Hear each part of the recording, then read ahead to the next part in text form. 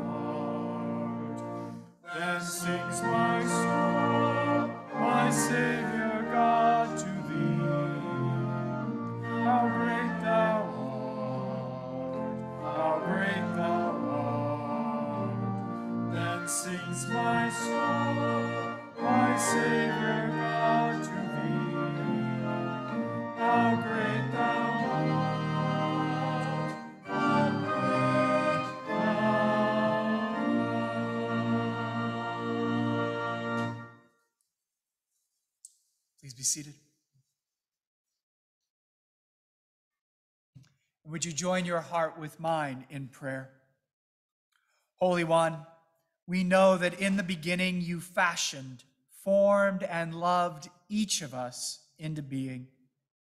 We know that you never stop loving us, even when we breathe our last. We know that in the journey of life, you, O God, are our constant companion. And we lean into the words of the Apostle Paul, who said that nothing, nothing separates us from you. We pray that we will sense that truth today, we will sense your presence close as our next breath. We pray today for everyone here in the sanctuary as well as those who are joining us on Zoom. I pray that you would be with Wally's sister, Vivian, with her children, Jeffrey and Vanessa, with their families, who Wally was a loving uncle to. I pray that you would be with Wally's Florida family, all of his collage friends. Guide us to share our love and our support in such a time as this. We pray for your healing, O God, to meet us wherever we are. Remind us that grief is not something we easily get over or around, but a path each of us uniquely finds a way to journey through. And help us journey with each other, and especially with you, O God. I pray through the love we share with each other in these difficult days, we will sense that you are close by. Help us find your grace to pick up the pieces and continue to do what we can, where we can, always letting you, O God, be our guide. May these prayerful words be embodied in each of our lives in these days. Amen. It is appropriate at moments such as this that we turn to the wisdom and the counsel that can be found in Scripture. Hear now these words taken from the wisdom book of Ecclesiastes, chapter 3. For everything there is a season, and a time for every matter under heaven. A time to be born, and a time to die, a time to plant, and a time to pluck up what is planted. A time to kill and a time to heal, a time to break down and a time to build up, time to weep and a time to laugh, time to mourn and a time to dance, a time to throw away stones and a time to gather stones together, a time to embrace and a time to refrain from embracing time to seek and a time to lose, a time to keep and a time to throw away, time to tear and a time to sow, time to keep silence and a time to speak, time to love and a time to hate, time for war and a time for peace. And hear now this reading from the Gospel of John, the 14th chapter, selected verses. Do not let your hearts be troubled. Believe in God, believe also in me. In my Father's house there are many dwelling places. And if it were not so, would I have told you that I go to prepare a place for you? And if I go and prepare a place for you, I will come again and will take you to myself so that where I am, there you may be also. And Jesus said to them, I am the way, the truth, and the life. No one comes to the Father except through me. Hear now what God is saying to you, God's people, in these words. I will always remember Wally on Sunday mornings when I was standing back by the door greeting people after church, Wally would come through the line and he would say, "Wes, how you doing, my good fella?" Every single Sunday he asked me that question as he shook my hand. And I loved that moment. I loved it first because I sensed Wally's genuine and gentle care. Wally really wanted to know how I was doing, not just hoping I would say fine so that he could move along. And second, accompanying that question was always this, this glimmer in Wally's eyes. I would come to realize that Wally had a mischievous side, a side that loved humor, and a side that especially loved laughing with others. I remember one time I found a picture in one of our directories. It was of a collage party where Wally was dressed up like King Tut. I also learned through Wally's comments things he would say that was often done with this slight smile on his face and that glimmer in his eyes. There was this quiet joy to Wally that I so appreciated. When I was around Wally, I, I didn't sense that I needed to be anything other than who I am. I know Wally and Jim love to travel, and I know we'll be hearing some stories today about the adventures some of you went on with Wally and Jim. I also know that Wally's heart held more love than I could ever begin to describe.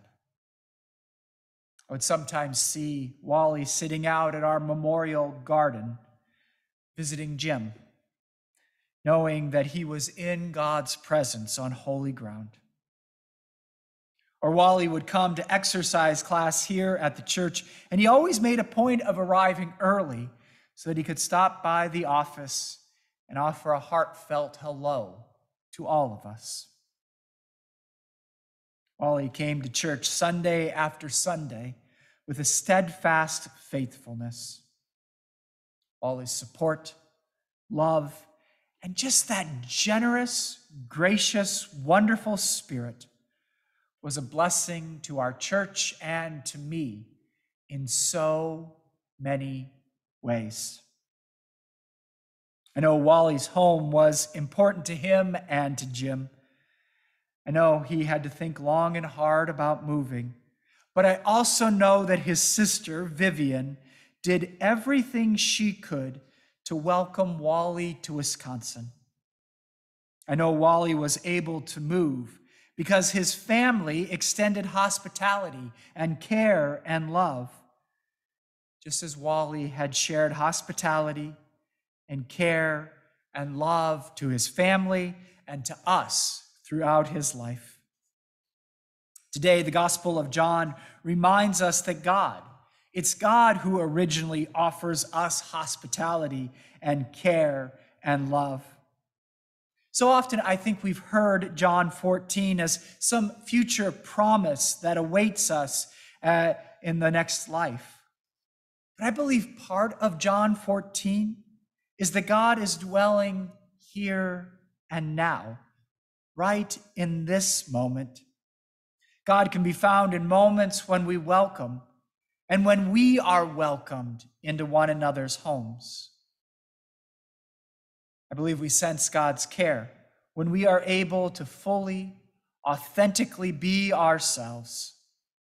And we know God is near when someone, like Wally, offers honest care, helps us feel affirmed and accepted.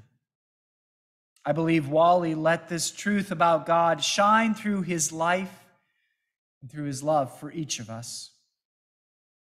To be sure, Wally is now at peace in God's eternal embrace and in, jo- and in Jim's embrace too. I can't prove this to you this morning, but I trust a holy promise that we get glimpses and glimmers of God's presence. We dwell in God's presence in this life. Alongside God's promise of care in John's gospel, we also heard the wisdom of Ecclesiastes. Got to be honest, I think we would all rather there never, we'd rather there never be a moment that we have to mourn or hurt or struggle. And yet, sometimes it is in the moments of suffering and struggle and stress that we come to see some of the indescribable blessings. I don't believe that God causes the hurt. God doesn't cause the hurt. But God's presence is always trying to guide us to support and love each other, especially in difficult, trying times like grieving Wally's death. I will miss Wally. I'll miss his quiet, loving support. I will miss how he won you over with that smile, the way he still makes me smile today. I'll miss his fun loving spirit. And, and I give thanks that I had the chance to know and love and be known and loved by Wally. As we celebrate all the ways Wally was created in God's image, I know there are those here today in the sanctuary and those on Zoom who want to share some memories. And so I want to start with this reflection that was written by his niece. She writes, My name is Amber, and Vivian, Wally's sister, asked me to share a few words on behalf of the family. Uncle Wally, as he was known to us members of Generation X, loved parties and get togethers of all kinds. He had total charm and charisma, and both he and his beloved partner, Jim, were delightful entertainers. So much so that I think if Wally were here today, he would be a bit perturbed. With his favorite Manhattan cocktail in hand, and he would do his famous draw, and he would tell me, Isn't that just the way it goes, my dear? They throw the party of the season in your honor on the one day you know you won't be able to be there. One of Wally's favorite brands of entertainment was polka dancing. Being from the polka belt of Chicago, the call of the accordion would draw he and Vivian to the polka feast every Saturday in the city. Indeed, the fast, lively dance suited Wally's personality, and he would greet and entertain many wonderful people. That was one of Amber's most viv, viv, vibrant memories of Uncle Wally is how many people he knew. She can remember going to Uncle Wally's with various restaurants in Chicago and fascinated that no matter where he went, the waitress always knew him. They knew his name, what he liked to drink, his favorite dish, and even how he liked it served. I could never figure out what was bigger Wally's charm or his tips.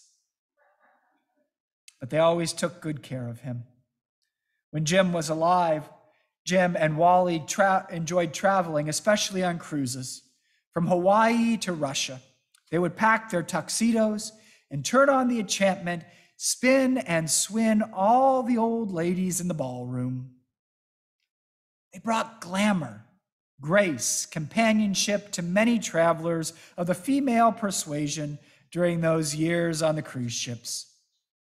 Wally and Jim would happily join Juan for dinner, host a soiree, or take a day trip somewhere interesting. Indeed, even after they moved to Florida from their Chicago home, they would make annual pilgrimages back to Milwaukee for German Fest, the yearly merriment of polka music, steins of beer, and decadent schnitzel would never be missed.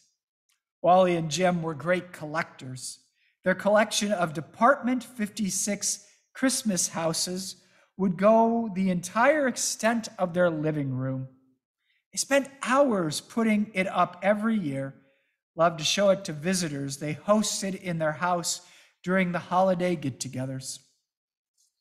Wally's love of pandas played host to Jim's passion of koala bears. And whether it was a cookie jar, a beautiful sculpture, a framed piece of art, one would find many versions of the bears in and around their house. As evidence of their travels, they were wonderful decorators, and their home was a fusion of Asian and Southwest decor with a little rattan thrown in for good measure. In addition to polka and parties, Uncle Wally had an exceptional appreciation for gemstones, knee length jean shorts, I'll add with suspenders, and a good episode of Law and Order. His mirth and effervescent personality will be greatly missed. Amber ends with the lyric to the song written by the English composer and comedian George Grossmith. You should see me dance the polka. You should see me cover the ground. You should see my coattails flying as I jump my partner round. With the band commence playing, my feet begin to go. For rollicking, romping polka is the jolliest fun I know. Amber closes by saying to her uncle, You were a class act, my dear.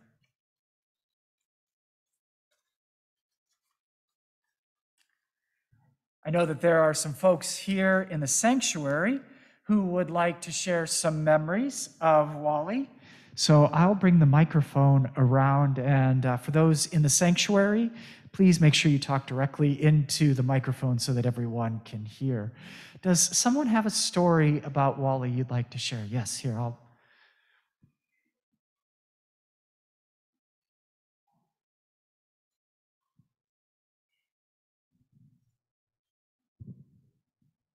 For those of you that don't know, I am Charlie, and this is my wonder wife, wonderful wife, Fran. We had the pleasure of being Wally's neighbor for 10 years. I, I could honestly stay the afternoon and tell you stories of Wally uh, and the times that we spent, but we figured it would be uh, appropriate to uh, do a tribute and a little bit of a roast uh, to Wally, because uh, he did have that personality. So we'll do our best. There is the old saying, good fences make good neighbors, but when we think of Wally, we believe without a doubt, although, although there was a physical fence there, we were the best of friends. Wally will always be to us a neighbor who not only became our friend, but a treasured member of our family. Wally was one of the first people we met here moving to Sarasota back in 2013. I remember the first time I talked to Wally. He wandered over on a Sunday afternoon to introduce himself, and he had a sad look on his face. And that's when he told me that Jim had just recently passed and he was lost without him. I felt connected to Wally immediately because I had recently lost a son, so we shared grief and that was something we had in common from the very beginning. I personally enjoyed countless cocktail hours on his lanai, and we always had his favorite beverage available since it was five o'clock somewhere. The question of the day to Wally was always how many horizontal fingers of whiskey he would like in his glass. We always cautioned Wally to be careful with his commute from our lanai to his house as we were neighbors.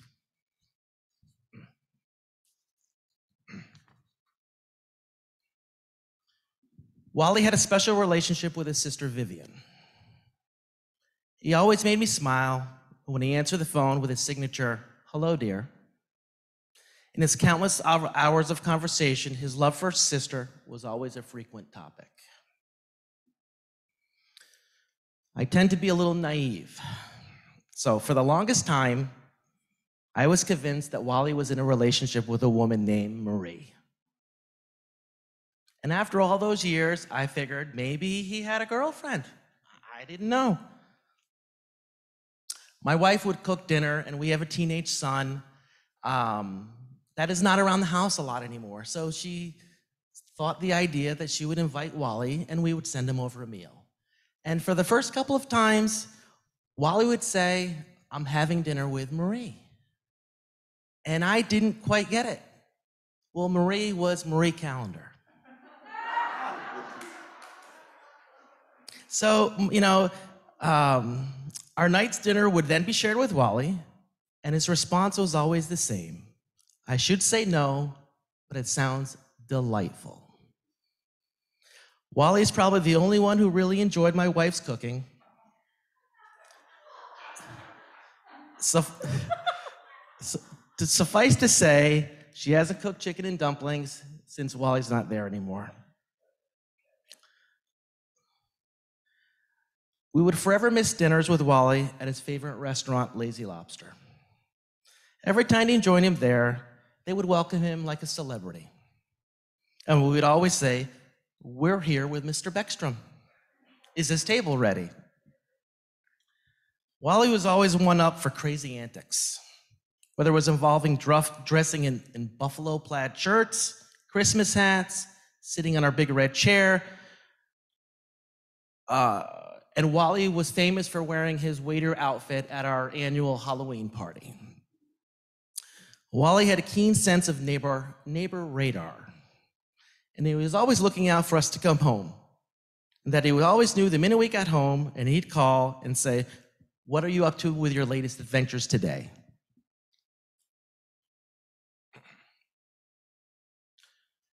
One of our fondest and funniest memories with Wally is a time we spent during Hurricane Irma.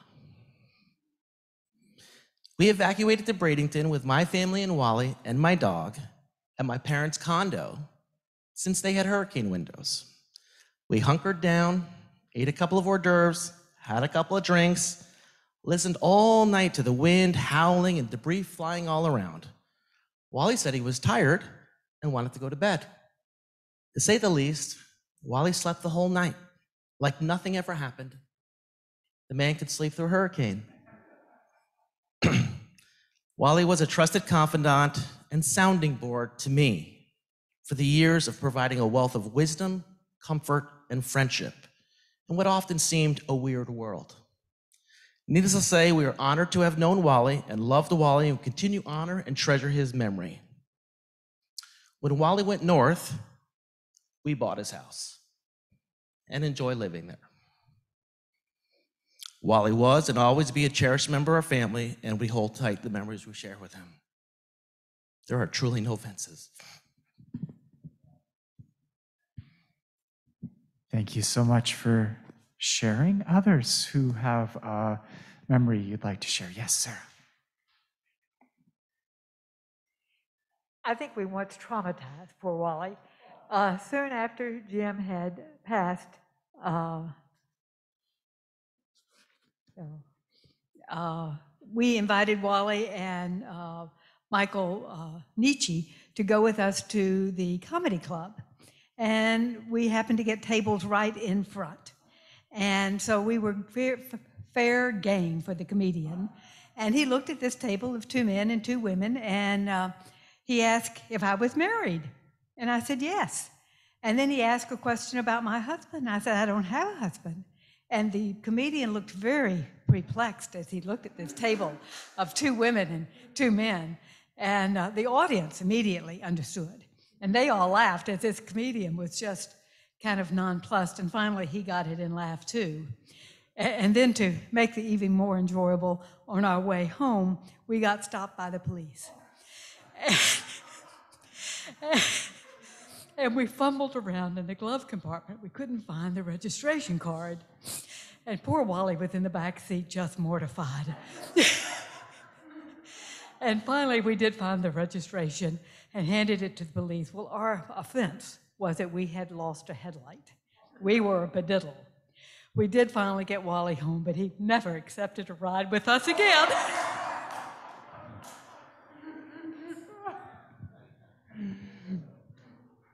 Others here in the sanctuary who'd like to share a story this, uh, this morning. Gina, is there anyone on Zoom who wants to share a memory we can put up on the screen here?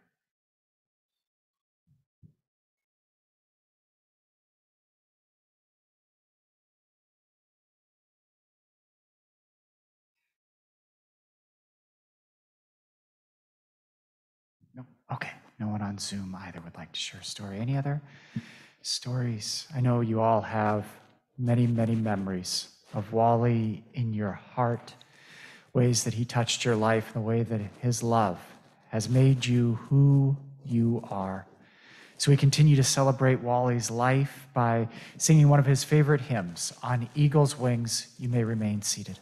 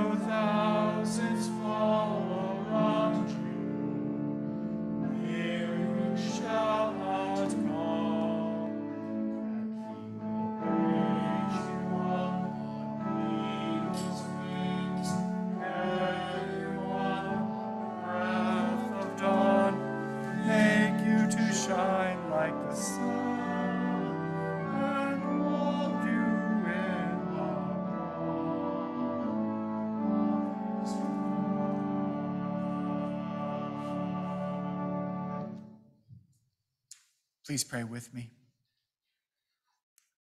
Holy One who enfolds us and holds us eternally, we know that if the only prayer we ever offer is thank you, it's enough.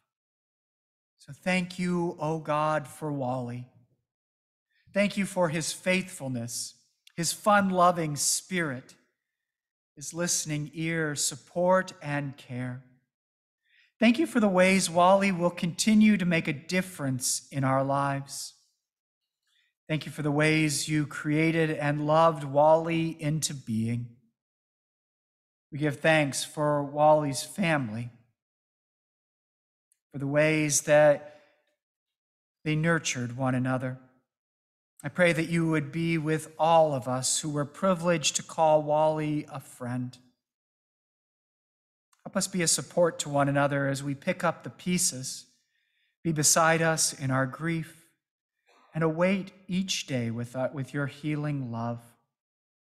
Gracious God, we do pray today for Vivian, Jeffrey, and Amber, and their sons, Aaron, Jonathan, Benjamin, and Joshua.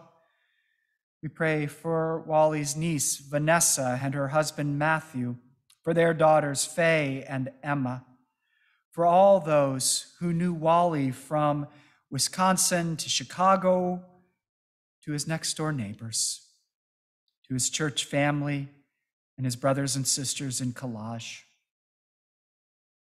Holy One, continue to be with each of us. For it is into your loving hands, O God, that we commend the spirit of Walter John Beckstrom.